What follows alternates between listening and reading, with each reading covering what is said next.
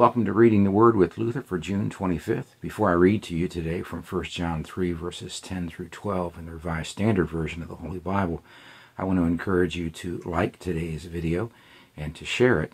If you're watching on YouTube, please subscribe to my channel. That will be helpful going forward. And with that said, let's hear from the Word. By this it may be seen who are the children of God and who are the children of the devil. Whoever does not do right is not of God, nor he who does not love his brother. For this is the message which you have heard from the beginning, that we should love one another, and not be like Cain, who was of the evil one, and murdered his brother. And why did he murder him? Because his own deeds were evil, and his brother's righteous. This is the Word of God.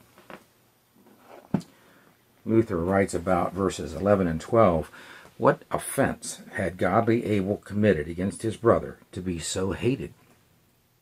He had regarded that brother as the firstborn, had done him all honor, and loved him as a brother. He was easily satisfied, desiring simply the grace of God. He prayed for the future seed, for the salvation and happiness of his parents, his brother, and the entire human race. How could Cain be so unmerciful and inhuman to murder his own flesh and blood? The answer is found in the fact that the devil had filled Cain's heart with pride and vanity over his birthright. He considered himself a man of distinction, whilst his brother was nothing. His heart is devoid of true brotherly love.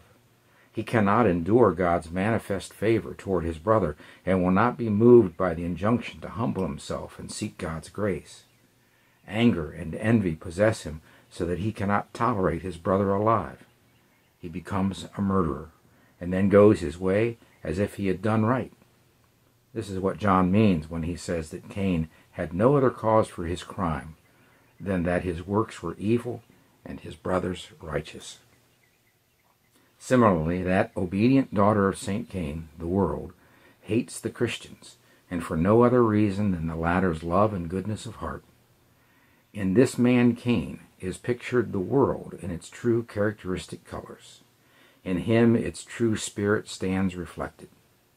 On the other hand, that poor, abject Abel well represents the obscure little brotherhood, the Church of Christ. She must yield to Cain the Lord the distinction of being everything before God. He feels important in his imagined dignity and thinks that God cannot but favor and accept his offering rather than that of his brother. Meanwhile, pious Abel goes his way, meekly suffering his brother's contempt. He yields him the honor and beholds no consolation for himself, aside from the pure mercy and goodness of God. He believes in God, and in such faith he performs his sacrifice as a confession of his gratitude. Well, it's easy to read this and only think of Cain and Abel, uh, perhaps their parents, but uh, we ought to think in terms of ourselves. Uh, we can be very much like Cain. Uh, we can think that we are righter and better than our brothers in the church. Uh, we can um, insist on our way over their way. Uh, we can treat them rudely and roughly. And I see this happen quite often, in fact. Um, especially uh, when it comes time for confession, whether people realize they're in the confessional or not, during uh, home visitation and when people come into uh, my office um, and they think they're alone and they can dredge up the past and talk trash on people and be mean to their brothers. Sometimes, years and years later, they forget that God is present or don't care. Uh, we need to be very careful ourselves because sometimes we can think that we bear the dignity of that elder brother, the one who's right, um, but perhaps not righteous. Uh, the righteous brother will always love his brother, even in his wrong. He'll love him. Um, it's difficult to do, I suppose, especially sometimes, some sins, but we are called to love our neighbor. Um, be careful that you are as Luther put it, abject, uh, like Abel. Be, be certain that you are humble as the church is called to be, uh, so that we are in a position to um, to know God's favor for us and to know how much our brother needs our love. Let's pray. Thank you for your word, Lord.